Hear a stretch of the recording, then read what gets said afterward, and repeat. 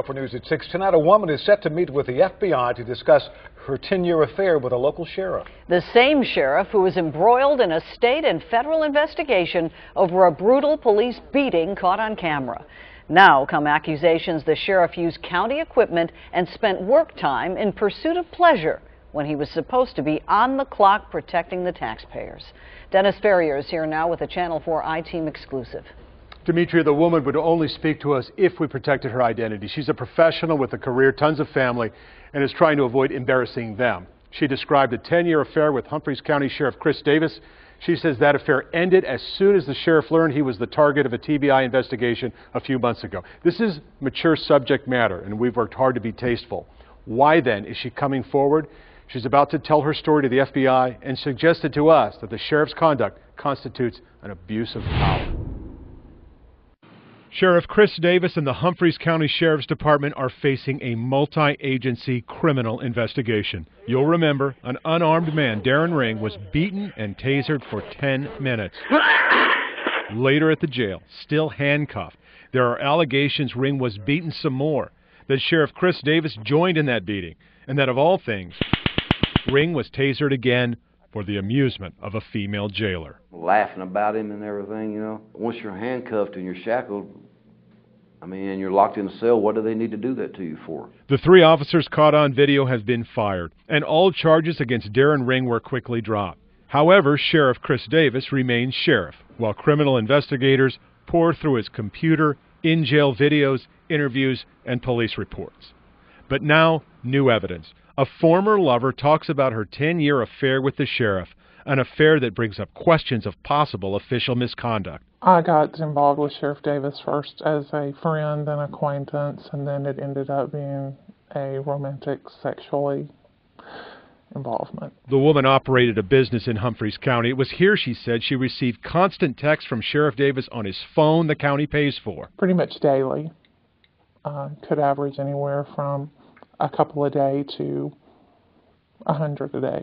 The texts were often about the desire to have sex, asking the woman to meet Sheriff Davis in different places around town for quick public or private sex. We would have sex. The cemetery, parking lots, courthouse, his officer's office, his office, um, a home that was being foreclosed on. So I was really leery. Um, we were trespassing, afraid. Davis is married, and so is the woman. Both are still married. But this isn't just a story about their affair, it's about what happened on county work hours. Keep in mind if the sheriff is sending hundreds of texts with his county funded phone to arrange meetings with this woman in the middle of the workday, in his county vehicle on county time, is this appropriate conduct? Here are a few of the texts sent from Sheriff Davis's phone. Listen to when they were sent. Meet you at the high school, 1:09 p.m., June 23rd.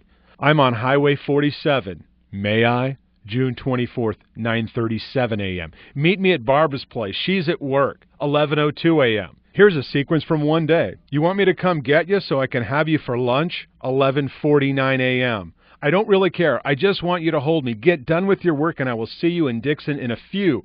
1218. Where you want to go? You want to get a room or is your place not available? 106 p.m. Look, I want to hold you. Can we work this out or what?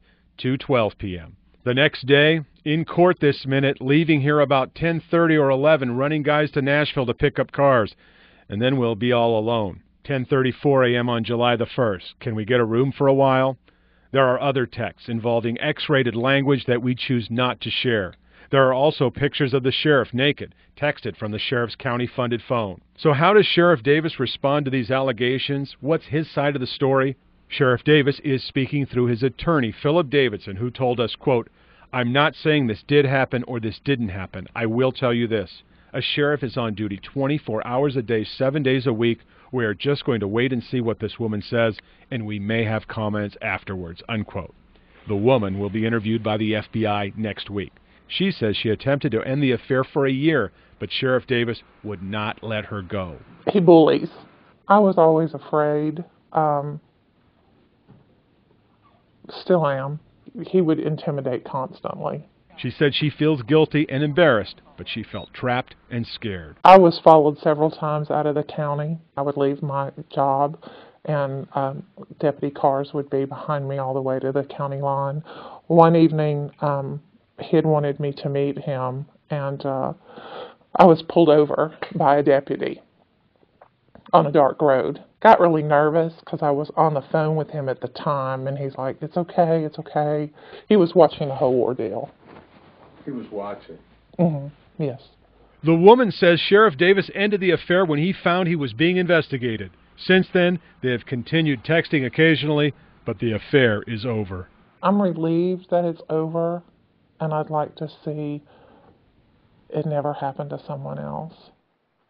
This story, along with the criminal investigation, is really starting to bother people in Humphreys County. If you look behind me, this video is of last night's county commission meeting, packed with people demanding the commission at least consider ouster proceedings against the sheriff or ask for a resignation. We will have more on that tomorrow.